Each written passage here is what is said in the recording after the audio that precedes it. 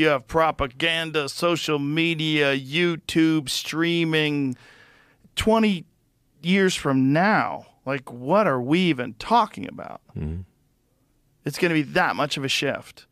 Like, it's all accelerating. And we're in the middle of it. So it's very difficult to sort of like feel it while it's happening because it kind of just feels like life. And you just get adapted to the changes. Yeah. I mean, eh, people's phones at this point are a supercomputer in their pocket, like an oracle that can answer any questions. People just take it for granted. Yeah. It's normal. Yeah. They get mad if it doesn't work. Yeah. It's like Louis C.K.'s joke about using your phone when you're on a plane. Ah, fucking piece of shit. Like, it's, you're in the sky. In the you're floating in the air. And now it will work with Starlink too. What's that? It will work with Starlink.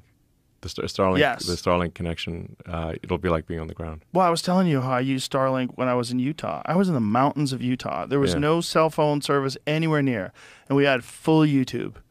We had text messages, FaceTime, Yep. everything, phone calls. It was nuts, Yeah. and it was it's this big as that cigar box. Yep. It's crazy. Yeah. It's so light. When I brought it out there, like that's it, or this is it. Let's Yeah. just plug it in.